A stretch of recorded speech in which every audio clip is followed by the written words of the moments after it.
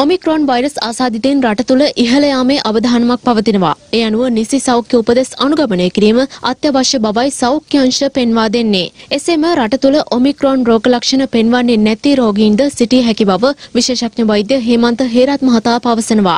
ලෝකයේ දියුණු රටවලට උනත් බැලුවත් මේ ඔමික්‍රෝන් ප්‍රභේදයත් එක්ක ඉතා ශීඝ්‍ර වර්ධනයක් රෝගීන්ගේ වාර්තා වීමේ සිද්ධ වෙලා තියෙනවා බොහෝ රටවල. ලංකාවේ පහුගිය කාල සීමාව තුළ අපිට ඒක තාම කල් වැඩි ඒ ගැන තීරණයක් දෙන්න.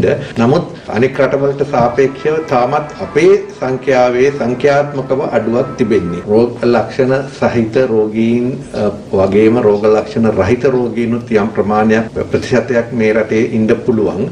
ලංකාවේ මේ මොහොත වෙනකොට අපි හිතනවා නම් රෝග ලක්ෂණ රහිත රෝගීන් පරීක්ෂණ වලට ලක් නොවි විශාල සංඛ්‍යාවක් ඉන්නවා නම් ඊට සමානුපාතිකව හෝ රෝගීන්ගේ රෝහල්ගත වන රෝගීන්ගේ සංඛ්‍යාවේ වැඩිවීමක් දකින්න ඕන. නමුත් ඒක සිද්ධ වෙලා නැහැ මේ මොහොතේ. ඒකෙන් අදහස් කරන්නේ නැහැ මේ රෝගය බය වෙන්න දෙයක් නැහැ කියලාවත් අපිට දැම්මම එවැනි දේවල් ගැන සැනසෙන්නට හෝ නිගමන වලට එන්න කල් මදි.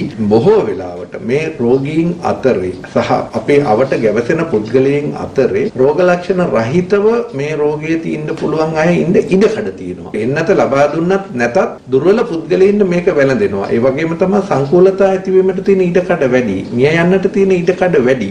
මේ අතර කොවිඩ් වෛරසය ආසාදනය වූ නව රෝගීන් 672 දෙනෙකු ඊයේ තහවුරු වුණා. ඒ අනුව මෙරට සමස්ත කොවිඩ් රෝගීන්ගේ සංඛ්‍යාව 5,97,707ක් දක්වා ඉහළ ගොස් තිබෙනවා. කොවිඩ් වෛරසය ආසාදිත තවත් මරණ 13ක් ඊයේ වාර්තා වුණා. ඒ අනුව මෙරට සමස්ත කොවිඩ් මරණ සංඛ්‍යාව සටහන් වන්නේ 15231ක් ලෙසයි.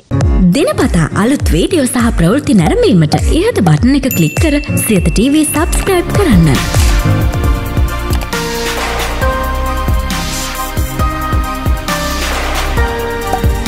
අලුත් වීඩියෝ ගැන මුලින්ම දැනගන්න මෙම සීනුව ක්ලික් කරන්න.